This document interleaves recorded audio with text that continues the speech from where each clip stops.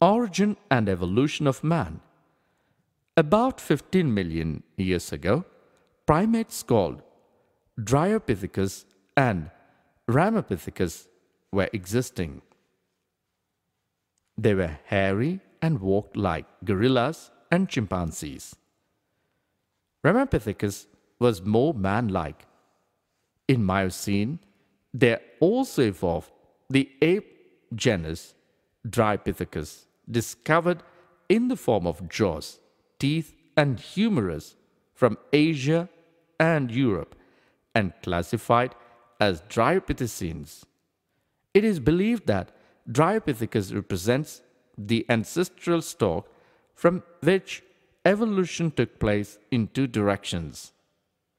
One leading to modern apes, gibbons, orangutan, chimpanzee, gorilla, and the other leading to modern man. Instead, on the basis of fossils, one can only discern the anatomical trends and classify evolutionary history into major structural phases leading towards hominization. Four structural phases in the evolution of man can be recognized. 1. The pre-human phase. 2. The early human phase. 3. The late human phase. And 4. The modern human phase. The pre-human phase. The Australopithecines or southern apes. Two million years ago, Australopithecines probably lived in East African grasslands.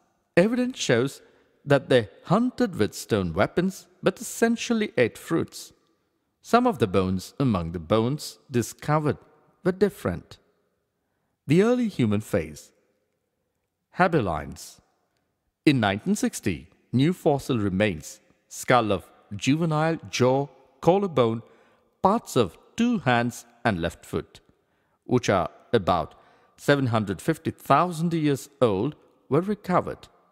These bones were attributed to new species, Homo habilis, able or skillful man, who is believed to be the first hominid, who could manufacture simple and better tools or weapons. Bipedalism was indicated from the evidence of leg and foot bones.